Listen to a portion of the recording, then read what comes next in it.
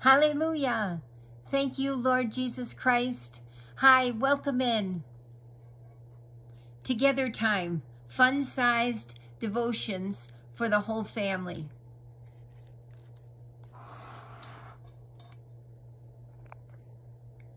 Fourteen, treat others how you'd like to be treated.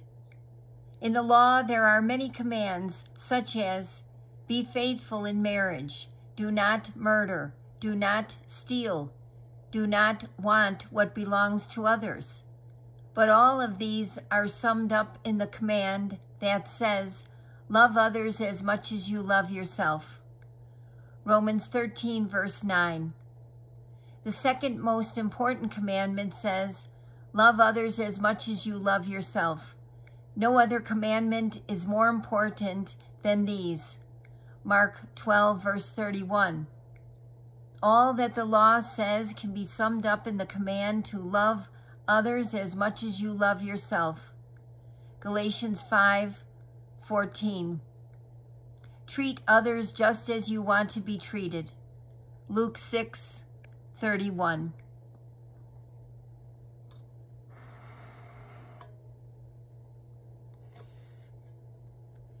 Let's think. The Bible tells us that the Ten Commandments are summed up in one. Love others as much as you love yourself. It's easy to love ourselves. We were basically born thinking, me first. But God tells us to put others first and treat them as we want to be treated.